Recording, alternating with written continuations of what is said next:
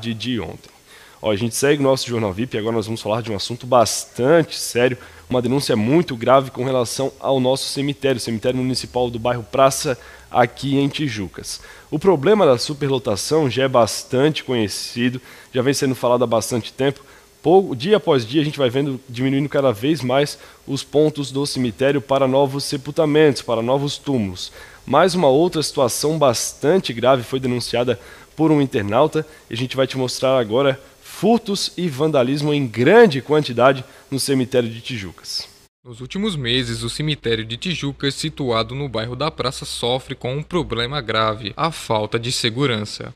Além da superlotação provocada pela grande quantidade de túmulos, os furtos vêm sendo frequentes no espaço. Centenas de jazigos são constantemente violados, sem monitoramento. Os autores aproveitam os momentos com pouca movimentação de pessoas para furtar os aros que protegem as fotos, cruzes e qualquer outra decoração.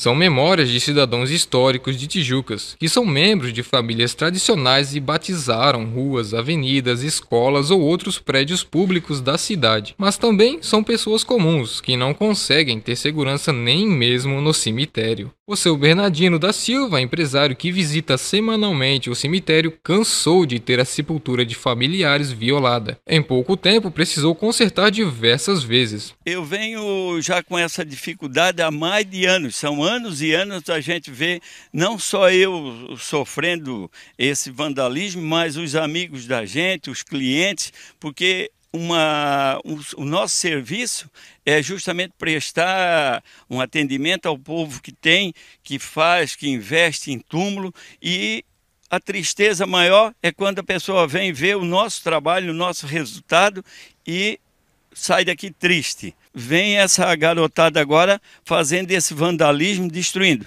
Um exemplo está aqui no túmulo da, do vô João e da vó Mimi. Em novembro passado, quando a minha sobrinha Adelita chegou aqui, ficou triste de ver tudo destruído. E eu me comprometi em arrumar e arrumei. Realmente chegou aqui outra tristeza, porque já tinham roubado a cruz e os aros, que realmente é um desaforo. Né? E é o meu pedido que é? Para que esses pais, se você pai, se você mãe, não deu dinheiro para o seu filho, como é que ele tem dinheiro? Da onde ele conseguiu? Então fica aqui o meu apelo para que toque no coração dessas pessoas e vejam que isso tudo é uma coisa desagradável, as pessoas estão tristes. O nosso cemitério é um cemitério super organizado. Eu conheço cemitério de, da nossa região, não tem nenhum cemitério que tenha a organização do nosso. Hoje, o cemitério o portão principal do cemitério fechado, isto é ridículo, mas é a situação que eles encontraram para proteger o, os túmulos no momento. Mas vamos torcer para que eles achem uma solução o mais rápido possível, para que a gente possa abrir o nosso portão, o portão do cemitério, o portão principal, porque muitas pessoas, como você já comprovou, vêm pelo portão principal tentar minimizar o problema, a administração do espaço decidiu manter fechado o portão frontal, centralizando a entrada apenas pela capela mortuária. Além disso, um vigia deve trabalhar no local durante o dia.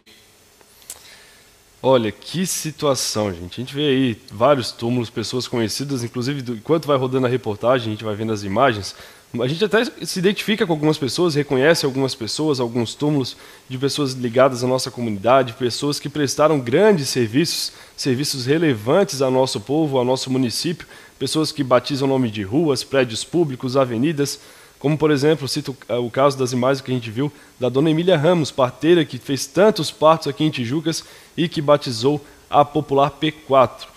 E aí, infelizmente, a gente tem que ver esse tipo de imagem, vários danos, vândalos furtando as peças ali do nosso cemitério, quebrando outras placas, placas de mármore que são dessa grossura e que infelizmente são quebradas com facilidade por esses vândalos. E como a gente falou por aqui, o cemitério de Tijucas, a administração do cemitério, deve colocar a partir de amanhã um vigia durante todo o dia para evitar, tentar diminuir casos como esse e logo mais, hoje à tarde ainda, você vai acompanhar uma reportagem lá no nosso site, o vipsocial.com.br, com o custo de cada um desses vandalismos e também das peças furtadas dos túmulos no cemitério de Tijucas. Quanto custa cada peça furtada nesses crimes que a gente acompanhou na denúncia?